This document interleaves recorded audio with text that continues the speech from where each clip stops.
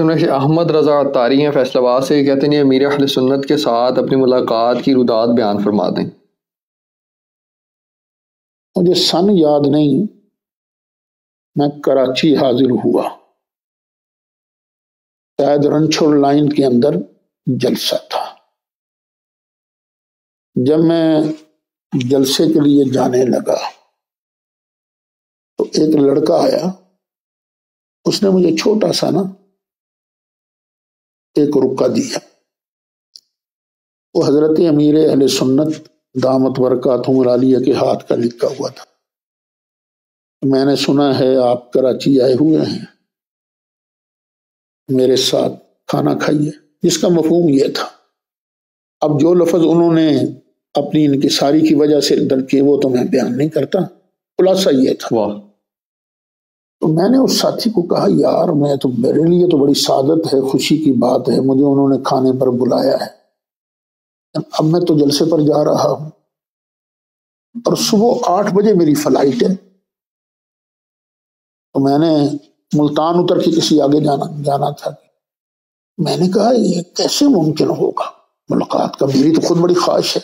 उसने कहा, जी, मैं अभी थोड़ी देर बाद आपको बताता हूँ। थोड़ी देर के बाद आया। तो हज़रत अमीर अहल सुन्नत का पैगाम लाया। हमें आपकी मजबूरी समझ में आ रही है। एयरपोर्ट के करीब ही गुलिस्तान जौहर, वहाँ हमारा मदरसा। तो अगर आप वहाँ फजर की नमाज़ अदा फरमाएँ और फजर की नमाज़ पढ़ाएँ तो मैं आपके पीछे नमाज़ पढ़ना चाहता हूँ। मैं क्या था? वो तो सिर्फ़ अब्बा जी की बुला की निस्बत का वो ख्याल फरमा रहे थे।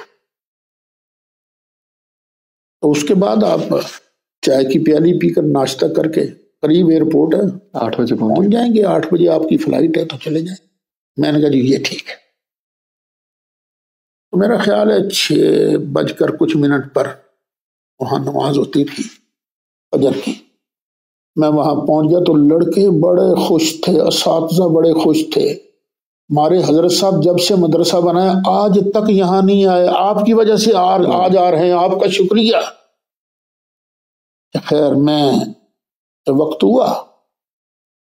तो मौलाना अबू बकर सिद्दीक साहिब, जो उस वक्त वही उस्ताद थे, बाद में शायद का कुछ इख्तलाफ हो गया। तो वो मुझे कहने लगे, लाउड स्पीकर लगाना है कि नहीं लगाना? मैंने कहा, जी, मैं तो लगाता हूँ, आपकी अपनी मर्ज़ी है, लगाएँ या ना लगाएँ। मैं तो लगाता हूँ तुम तो फिर उन्होंने लाउड स्पीकर भी लगाया। तो तकबीर तहरीमा, मैं कह चुका था तो हज़रत साहब तशरीफ़ ले आए, वो जमात में शरीफ हुए। नमाज़ के बाद वो मुझे सात कमरे में ले गए।